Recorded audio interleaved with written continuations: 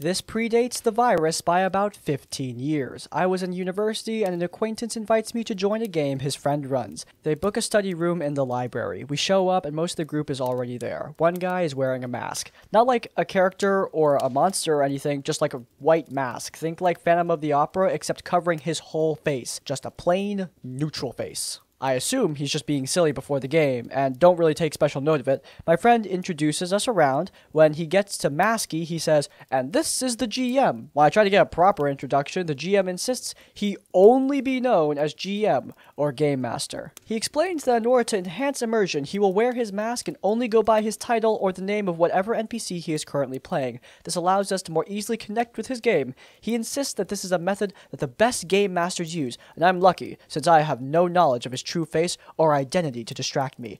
Everyone else is acting like this is completely reasonable, so I shrug it off when we start the game.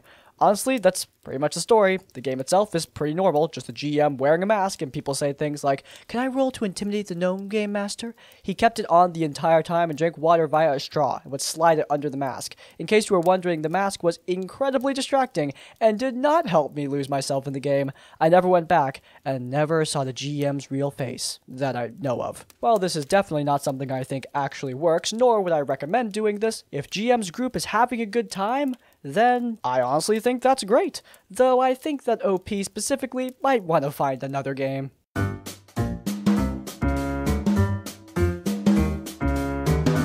This happened two years ago on Roll20 and is about the worst game slash most anti-player DM I've ever had. The game started off with the party as slaves aboard a ship. Not a bad start, but the DM had the slavers sell all of our starting equipment, which at level 3 is kinda devastating. We somehow managed to fight our way off the ship, only for our monk to get their leg blown off in the process. Oh yes, see, this DM used his incredibly punishing critical injuries table that had something like a 40% chance of being dismemberment if you were crit. Now this wouldn't have been so bad as the game was described as roleplay heavy, except the DM either kept throwing combat encounters at us or made the combat the only way to deal with problems. So we get off the ship to freedom only to be immediately arrested and made into debt slaves for the crime of not having a passport, and our bounty set at an exorbitant price of 5,000 gold pieces. Again, we were level 3. To add insult to injury, our characters were fitted with bomb collars around our necks that would explode if we tried to remove them or traveled more than 5 miles from the city. But don't worry, it's not real slavery, said our DM. Besides, we could also pay off our debt by undertaking these incredibly deadly tasks, which almost certainly would result in death or more dismemberment. Fun.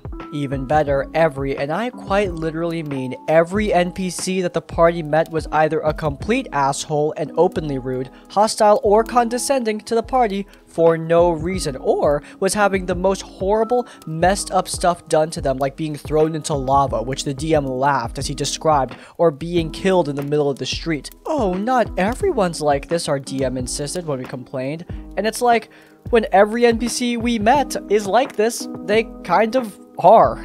Things came to a head after five sessions that made me leave, if everyone else hadn't already made me want to. An orphan boy we met, whose parents were just viciously executed in front of him, asked us to escort him to a nearby convent to be raised by the nuns. When we arrived, the DM described us hearing the screaming of a young girl from the basement, but when we inquired about it, the nuns were incredibly vague and just told us not to worry about it. During the night, the orphan wakes the party and tells us they have a young tiefling girl held captive in the basement and begs us to go rescue her. We investigate, and the girl is held in a small cell with a force field emanating from an upright staff on the door. We try asking the girl why she's imprisoned. She's similarly vague, like the nuns, and refuses to give us a straight answer. Then the Mother Superior finds us and tells us over and over again that the girl is a demon, with no further elaboration, but also that, being a pacifist, she won't stop us if we attempt to free her. We decide to leave well enough alone, which clearly irritated the DM, as he then described described the orphan boy removing the staff from the ground and freeing the girl, only for them to both transform into the demon lords of war and tyranny in this setting and teleport away. The Mother Superior is now suddenly all talk, blaming the party and saying it's all our fault, as the DM believed that too, that her order broke the oath of pacifism years ago to capture the demon, and that we were now responsible for recapturing the demons. Looking back, the DM had clearly intended for the party to free the demon and then reveal it to us in an epic twist, gotcha moment, but everything about it was just so contrived and made no sense. Why did the demon lord even need us there to free his kin? Why couldn't the nuns just be upfront in the first place so we'd leave the girl alone? Why would the nuns be willing to break their vow of pacifism to capture the female demon lord but not to contain her? Why did they have such a crappy prison where literally anyone, let alone another demon lord, could just walk in, grab the staff, and free her in a pinch? How in the hell was the nuns failing their guard our fault? How the hell were a party of level 3s meant to capture two demon lords? For that matter, how were we meant to do anything when we were still slaves? This contrived bullshit was the last straw for me and I left before the next session. F you, Bearfish. Ah yes, another dungeon master that thinks just making your players lose means you are a good dungeon master. Now, don't get me wrong, there is a lot of loss in Dungeons & Dragons. In many campaigns, loss is going to be a major factor, and that is natural. You are rolling dice with ones on them, you are going to lose sometimes.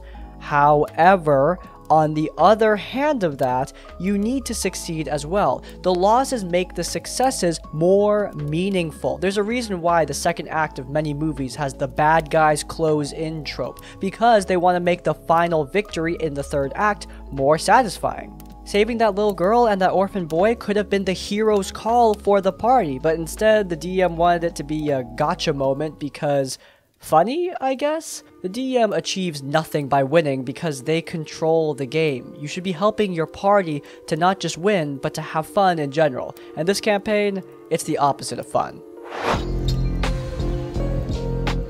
Alright, so this is the story. I've been hesitating to post this one because the star of the story is an active player and a member of Roll20, as I've seen her signing up for other games and even trying to DM some. No idea if she frequents Reddit or this subreddit, and considering her personality, I think she might throw a fit if she sees this. But screw it, I'm a bored man and it's been a long time since I posted here, since I practically have posted on all the other horror stories I've gathered in my 15 years of playing TTRPGs. About one year ago, I joined a game over at Roll20 that emphasized heavy roleplay and story. It was a homebrew world with the DM having his own map, lore, kingdoms, factions, and all that other good jazz. We have session zero and everything seems great. I had high, high expectations for this game because everyone seemed to be of the same mindset of playing a serious, roleplay, narrative focused game with players that would almost never miss sessions. As you may know, it's incredibly difficult to find players who would show up weekly in a consistent manner. The star of the story is Miranda, divine sorcerer, the chosen one of all goodness and light, 15 year old naive teenage girl out to destroy evil after her father wanted her to become some political breeding wife and she left home in anger. I am a human fighter, gruff mercenary man in his 40s that has seen some crap in his years of service as a soldier in the various wars fought by the kingdoms across the land, and knight in sour armor. The other players are wizard female half-elf slacker who was kicked out by her family for being a holdup in the home all day and refusing to do any work, warlock tiefling haunted by some kind of big bad monster and wants to free himself, and half-elf female bard who I think just wanted to travel and make stories. Miranda was a problem. While she was most definitely a heavy role player, she had to roleplay everything. Waking up in the morning, taking a bath, changing clothes, waking everyone up and greeting them, eating breakfast, chatting about how everyone slept, having to discuss the current party plan that had been already discussed previously. And then finally, after like two to three hours, we get to leave the damn tavern slash inn we were sleeping in for the quest we wanted to undertake. This had the unfortunate effect of delaying every game by about one to two hours, and she never seemed to notice the DM and other players becoming weary and wanting to press on.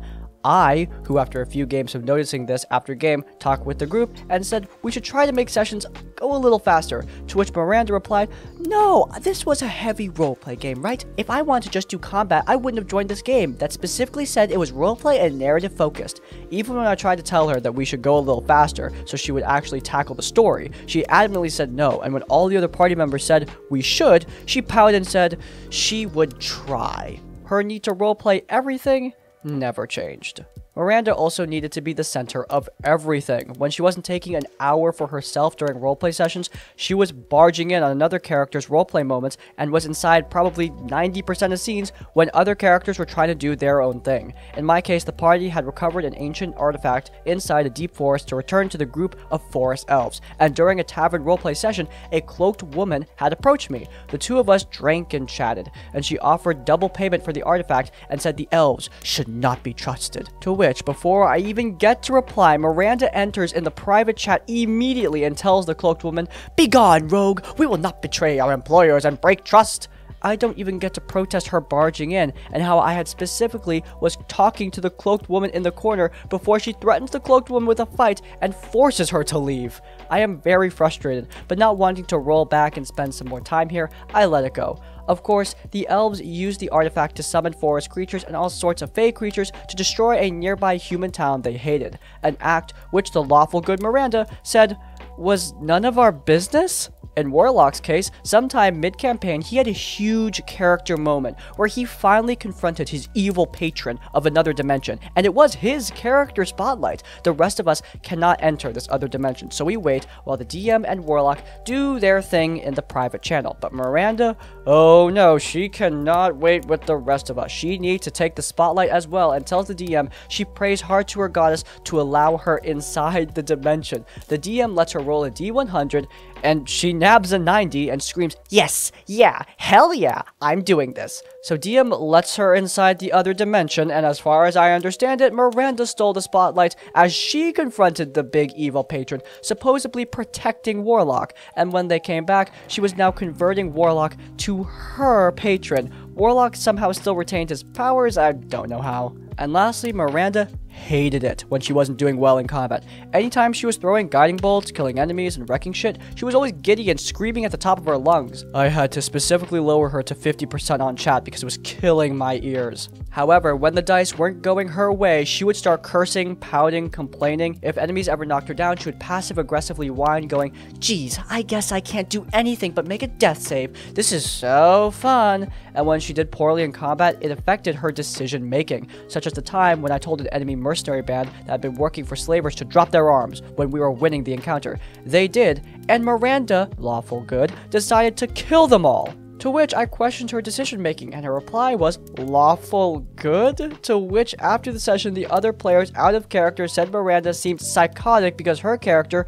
being a 15 year old girl, was slaughtering people who were surrendering. To which Miranda got upset and said she knew what she was doing, and she was a veteran of these games. And we all dropped it because she was writing multiple paragraphs in the Discord about how she didn't do anything wrong. All of her behavior culminated in the fight that would destroy the campaign. We had tracked down the slaver slash cult leader and attacked her base. Long story short, we killed a dozen mooks, several NPCs with character classes, and were finally confronted by the big bad, evil wizard woman. The DM described how a dark aura permeates around her and tells us no mercy will be given to us. By this point, it was the five of us, some down a few percentage of our HP, some resources spent against the slaver wizard, and an apprentice NPC that she had, and maybe some other NPC mercenaries. It was going to be a tough, but from what I could tell, doable fight. Now, Miranda had done semi-poorly this fight, missed a lot of guiding bolts, had one of her fireballs counterspelled, and had practically used all of her resources.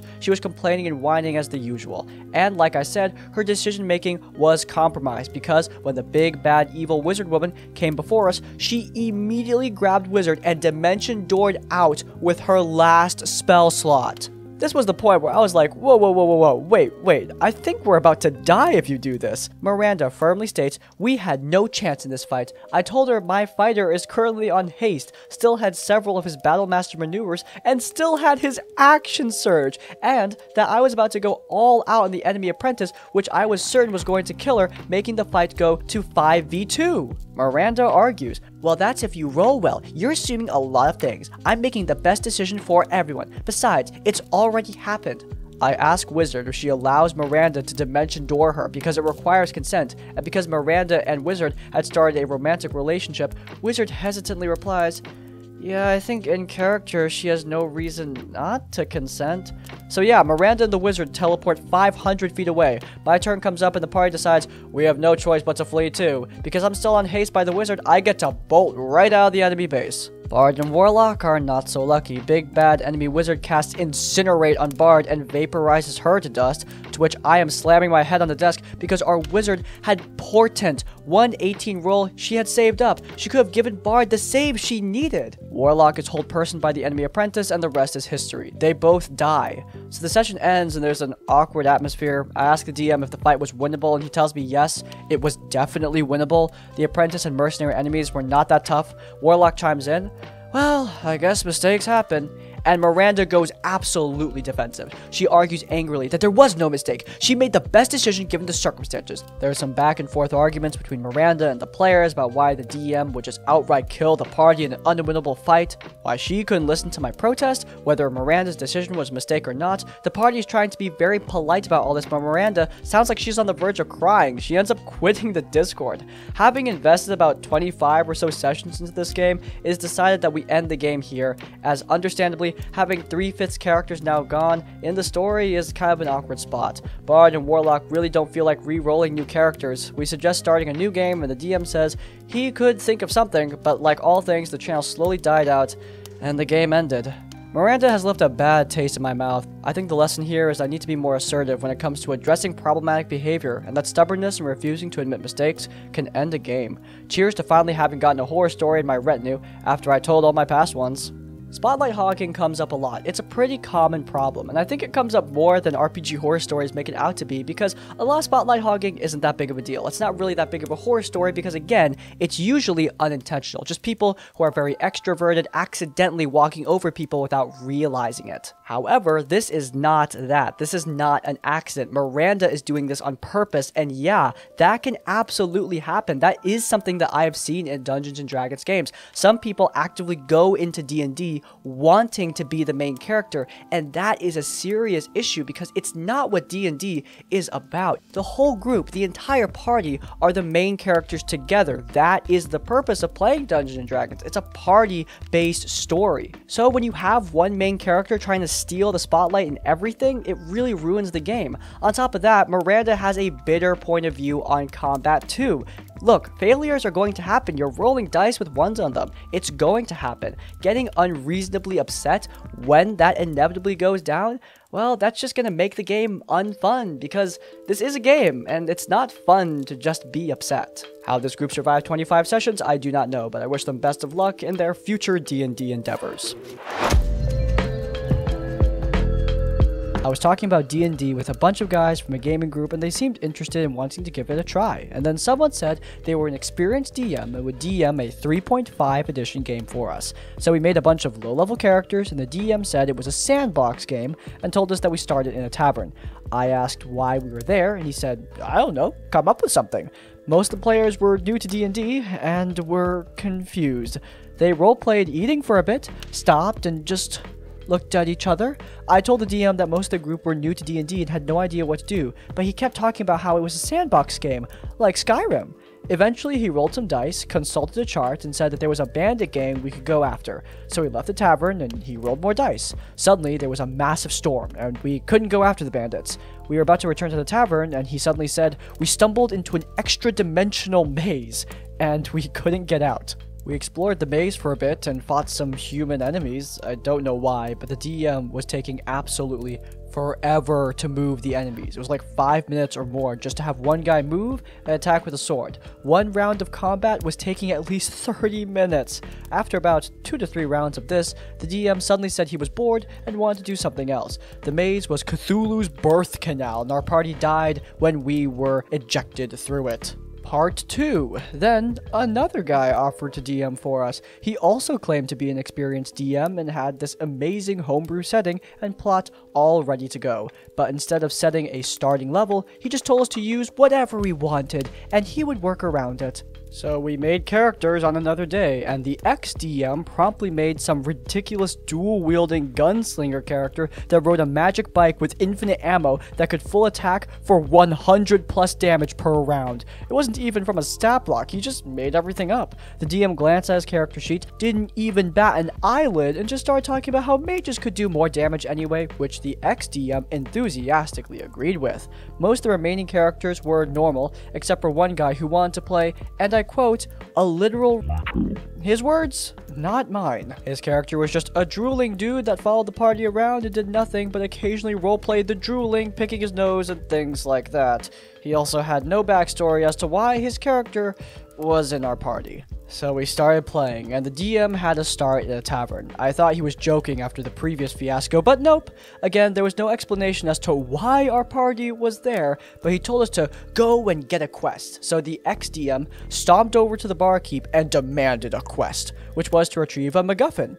Yes, the DM actually called it a MacGuffin. We went into some forest, fought some enemies, and retrieved the MacGuffin. But this one fight actually took most of the session because the DM was extremely slow in moving the enemies, and he kept stopping to tell us stories of his workplace, which often included swearing about how his customers were stupid and anecdotes about how he saved the day. Next session, we handed the MacGuffin to the barkeep and got another quest to investigate some mysterious masked men that kept appearing in town. The DM kept gushing about how this was the good part, how the masked men were integral to his homebrew settings plot, and how we would love it. The party agreed to split up. One group would try and follow the masked men, the other group would try to gather information from the locals. I was in the group and ended up basically doing all the role playing because the rest were just doing nothing at all. The locals knew nothing, but a group of drunkards picked a fight with my player character. The party members who were with me chose to just watch and wouldn't lift a finger. One guy's explanation was that he wanted to watch me fight them. The guy playing the drooling dude chose to roleplay more drooling. The session ended there. I asked where the plot is because in three sessions, we haven't seen anything of it. He just shushed me and told me to be patient. After the DM finished bragging about how amazing the masked men were, I asked the remaining party members what they wanted to do.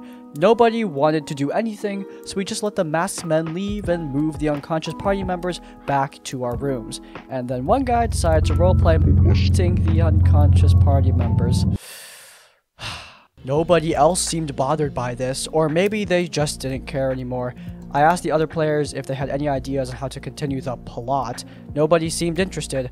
I don't think the campaign got much farther, and I stopped talking to these guys after this. We're not going to talk about that last thing, because that's just bad and I don't need to explain it. We're also not going to talk about the middle school tier humor of Mr. McDrool, so let's talk about the DMs. Look, I don't really care if you're experienced, I just care that you're good. That's all that matters. And these DMs are not exactly what I would call good at their jobs. Look, Sandbox is great, but it's interesting that they use Skyrim as the comparison because yeah, Skyrim is open world. You can go anywhere, do whatever, but Skyrim still has quests for you to go on that are presented by the game. Hell, even Minecraft has more direction with their advancements. These DMs just want the party to make something up for them, and when you're talking to new players, they're just not gonna know what to do. I'm not gonna judge a DM for hyping up their quest or their bad guy or whatever because I do that too. But you also need to deliver. I don't hype something up before it interests the players. Like right now, there's a massive twist being set up in my second campaign,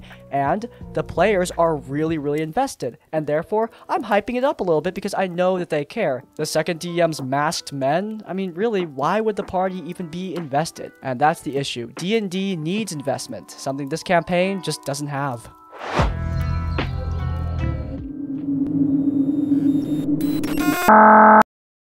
Thankfully, this story isn't as bad as it could have been, and it's a good lesson for me in setting firm boundaries. I'm a very experienced Pathfinder player. I've been playing since it was released. One of my IRL friends is DMing a Roll20 game, and I play in it. I am very willing to help new players and make myself available to them to help with character creation.